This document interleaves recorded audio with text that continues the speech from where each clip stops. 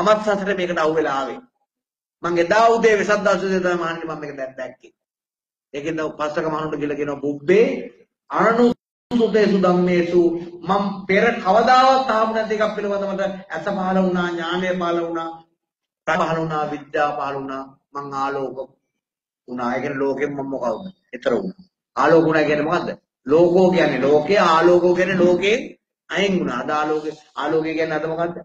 එළියටනේ එළියටත් ආලෝකය කියන්නේ. ඔතන ආලෝක කියන්නේ මොකක් වුණාද? ලෝකෙන් මොකක් වුණා කියන එක.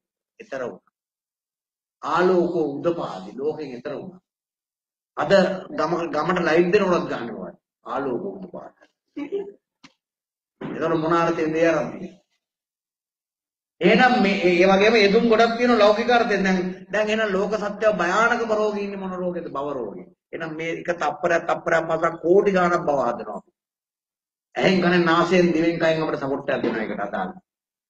එළිය තියෙන එකට නියම් බලු ටික රූප ශබ්ද ගන්ධ රස ස්පර්ශ ඇහි වැහැලා. ප්‍රිය මధుර ස්වභාවයෙන් පිරිලා ලංකාවේ දැන් මේ වෙලාවේ. ප්‍රිය මధుර ස්වභාවයෙන් පිරිලා අඩු ගානේ දැන් අද අද අවුරුදු 60ක ගෑණියෙක් හොයාගන්න බෑ නිකන් 35 40ක වගේ. ඇයි අර කේසා ලෝමා නකා දන්තාදික ඔක්කොම මොන කරලා තියෙන්නේ? ඊය හරි දීලා අර ඇදගු දැරලා ඇදලා කරලා රබාරවගේ හදාගෙන ඉන්නවා. ඉතින් කොහොමද ඔය? අද එහෙනම් මේ වෙනකොට මේ ලංකාවේ ප්‍රියමధుර ස්වභාවය අන්තිමටම ගිහිල්ලා ඉවරයි.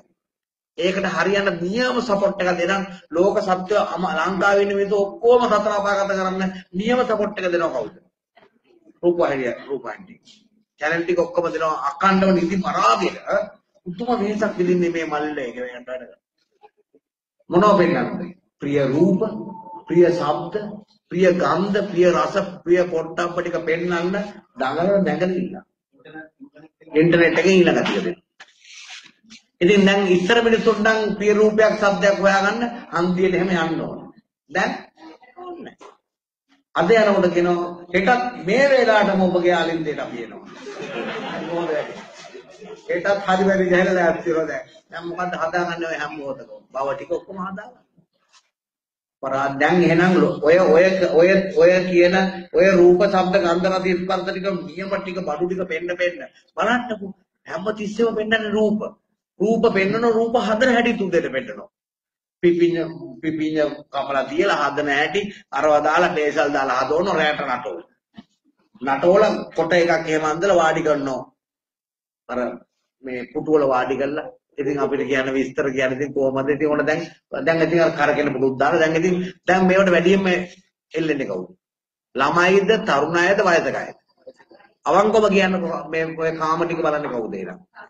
ඕන තරුණ තරුණයෝට දෙලිට බැලලා හරි බලා ගන්න පුළුවන් ලස්සනට කරගන්න වැඩේ වයසකයි. නියම බව ටික හදාගන්න. ජීවිතයේ අන්තිම මොහොතේ টොප් එකට හොඳට සතර පායට යන. ඒක ළමයිතුත් කියනවා අපේ තාත්තලාට අපි ෆ්ලැට් ටීවී එකක් කරලා දුන්නා නේද? අනේ ඔය තමයි හොඳයි නේද? දැන් ඒගොල්ලෝ හරි කරදරයක් නැහැ ඒක බලන් ඉන්නවා. හරි සතුටකින්. ඔව් සතුටකින් ඉන්නවා. සතුට දෙක ක්‍රම දෙකකට දෙනවා. පංචකාමයේ දීලා සතුට දෙනවා. දැන් මේ පංචකාමයෙන් වෙන් වෙනකොට තියෙනවා. ඒකත් ඒකත් සතුටක් තියෙනවා. ඒක තියෙන ඥානවන්තයෙක් විතරයි. ඔලොමොට්ටලට නෑ. ඔලොමොට්ටල පංචකාමයෙන් තමයි සැප ගන්න. හැබැයි අවුලක් හදා ගන්නවා තතරේ. කල්පනා කරලා බලන්න එහෙනම් මේ රූපాయని නාලිකා ටික ඉන්ටර්නෙට් ටිකෙන් දෙන ටික මදිද මේ මොහොත වෙනකොට ලංකාවේ පංචකාමය උතුරලා යන්න ඇවිල්ලා. ඒ කියන්නේ මොකද්ද මේක? යන්න තැනක් නෑ තවත් පංචකාමයට. දැන් උපරිමට ඇවිල්ලා තියෙන. දැන් යන්නේ මොන පැත්තටද? මේක හරයක් නෑ කියන පැත්ත දැන් දියුණු වේගෙන ඉන්න තමයි ඒකෙන් වෙන්නේ ලෝකේ. ඒක ලෝකේ හැටියක්. පංචකාමයේ උපරිම නැගලා නැගලා මේ දහම් මේ සීසත් ධර්මය දැන් රට පුරා යනවා මේක බුක් කරලා අනිත් පැත්තට බහින්න තමයි මේ ප්‍රස්තාරය උඩට නැගලා තියෙන්නේ එහෙනම් මෙන්න මේකේ යථාර්ථය තේරුම් ගන්න අනාගත මේ දරුවෝ විශාල පිරිසක් මේ සංසාර දුක මිදෙනවා මේ ලංකාවේ එක නවත්තන කාටවත් බෑ. කොච්චර දැඟලුවත් බෑ. හේතුව ඒක බොරුවක් නෙවෙයි පරම සත්‍යයක් නිසා.